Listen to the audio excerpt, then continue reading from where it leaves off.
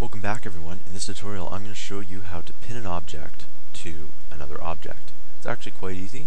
So what what I've done here is I've actually set up the mammoth to or the sprite to rotate towards mouse click and on to, to do that you have to add the mouse you double click here and add the mouse input mouse on any click set angle towards mouse X and mouse Y but in order to pin something, let's quickly add something. So I'm going to double click here, add a sprite, add the sprite, go to ink. Alright, so sprite 2, you go to add edit behavior, click the green plus, pin, and now what you do is you move this to where you want it to be pinned. So I'm going to move it right here. Okay. Then to go to my event sheet, add an event. The new sprite is pinned. Oops, sorry, that's not right. Um, you have to do it a slightly different way.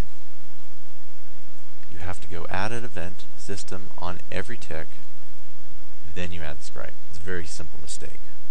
Pin to object, and then you pin to the right object, and you can pin it to anything. But in this case, I'm this pinning to Mammoth. There you go. Okay, so I'm going to move this here, and if I run it, there you go. So I'm moving the Mammoth to the location, and as you can see, it's completely pinned to the object. Okay, now if we go back, and we go Control C, Control V, and then Control C, Control V, Control C, Control V, and what I'm doing here is I'm just copying and pasting these.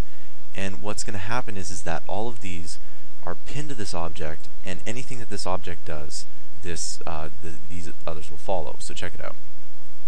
So as you can see, they kind of move around. Now, if we add some behavior, so for example, we click the mammoth, add edit behavior, click the green plus, eight directions. Now, these should follow around. If you move so as you can see, they move around.